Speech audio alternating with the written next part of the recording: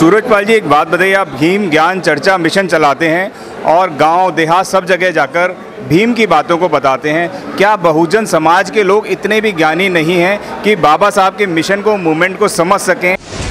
उसके बावजूद भी वो आडंबरों में फंसे हुए हैं। उसके ऊपर क्या बोलेंगे? आप, जैसे आज की डेट में बोला जाता है कि 21वीं सदी बोला जाता है, डिजिटल इंडिया बोला जाता है, सब लोग विकसित हो रहे हैं, विकास हो रहा है, लेकिन ये वो कौन सा विकास है कि लोग अपनी चीज़ों को ही नहीं समझ पाते हैं?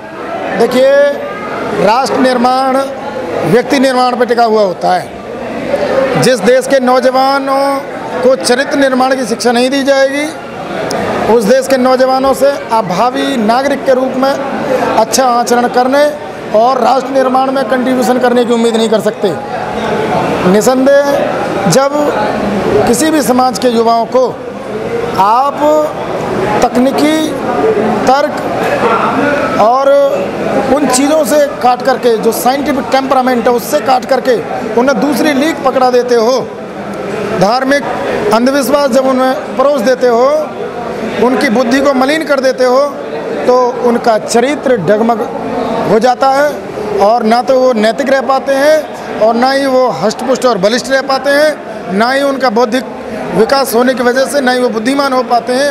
राष्ट्र निर्माण में उनका योगदान ज़ीरो रहता है और निजी जीवन में भी वो खास उन्नति नहीं कर पाते। इस दिशा में काम किए जाने की निसंदेह आवश्यकता है। समाज को साइंटिफिक टेम्परामेंट की ज़रूरत है। बुद्ध की और बाबा साहब डॉक्टर अंबेडकर की शिक्षाएँ साइंटिफिक टेम्परामेंट पर ज़ोर देती हैं, चरित्र निर्माण पर ज़ोर देती हैं, व्यक्ति और व्यक्तित्व निर्माण पर ज़ोर देती हैं। और इन शिक्षाओं को बढ़ाए जाने की आवश्यकता है। तभी हम व्यक्ति निर्माण के साथ साथ व्यक्तित्व निर्माण और राष्ट्र निर्माण की दिशा में हम आगे बढ़ सकते हैं।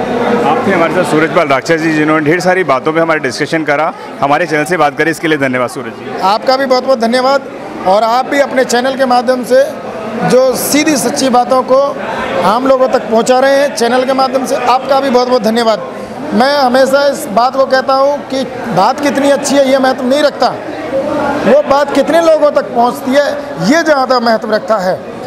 अखबार, टेलीविज़न चैनल, यूट्यूब या अन्य जितने भी ये माध्यम हैं, ये चर्चा का या गॉसिप का जो माध्यम है, ये तमाम माध्यम है, एक अच्छी बात को या बुरी बात को आगे तक पहुँचाने का। तो जिसके हाथ में माध्यम रहेगा, वो प्रभावी रहेगा।